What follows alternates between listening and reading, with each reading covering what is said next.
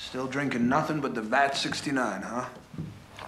Well, the finest for Mrs. Nixon's baby boy. Had a problem up at Regiment? What, this? Is that what he said? No. I just don't like it up there. Good. She'll be happy to hear that Sink is transferring you back down to Battalion S3. What do you think I should write to these parents, Dick?